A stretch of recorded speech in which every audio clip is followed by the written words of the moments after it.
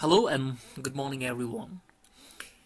In this channel this is my first lecture and in this first lecture I'm going to talk about UPSC because this channel is all about UPSC. I'm going to upload information related to UPSC. I'm going to upload material related to UPSC. Okay, so this is my first lecture so I want to start as soon as possible without wasting time as time is very much precious for all the UPSC aspirant and other as well okay?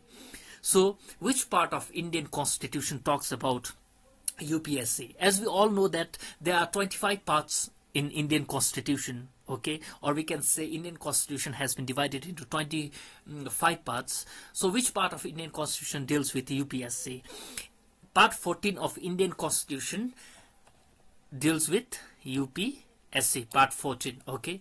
And which article deals with UPSC article number 315 to 323 of Indian Constitution deals with UPSC okay? And when it comes to appointments okay who appoints the member of UPSC that is President of India appoints the member of UPSC okay? And what qualification is required to become the member of UPSC no qualification has been mentioned in the Indian constitution but one half of the member of the UPSC has to have 10 years of service experience in state or in center. Okay? I hope these four points are clear to you all. Okay? And when we come uh, we talk about uh, tenure okay?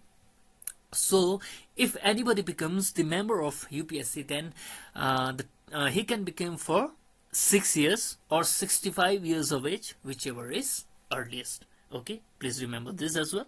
Okay.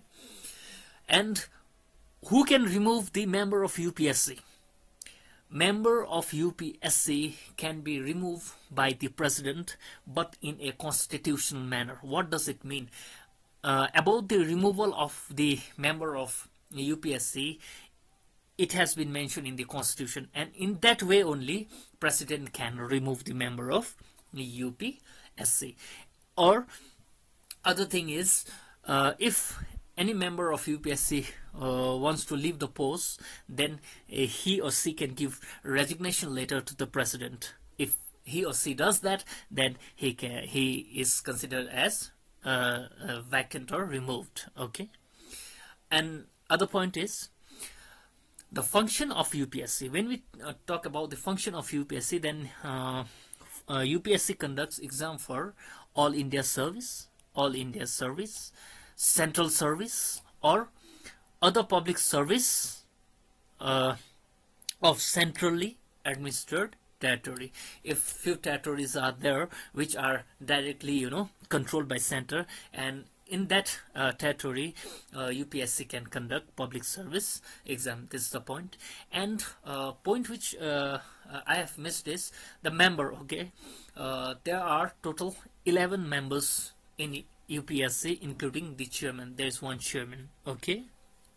I hope this much point is clear for you all in this first video. And I will be uploading such uh, useful information in others videos as well. Please do like and subscribe. It will be very much useful. After watching my video you will not feel like you have wasted time. And these are very basic video but why I am uploading these simple things? Because when we go forward to understand basics is very much important okay? Thank you very much. But this is not only basic. Questions can come from here as well because this content I have took from very important source. I've compiled it and I have delivered it to you okay? I hope this information will be very much useful for you all. Thank you very much. Have a nice day ahead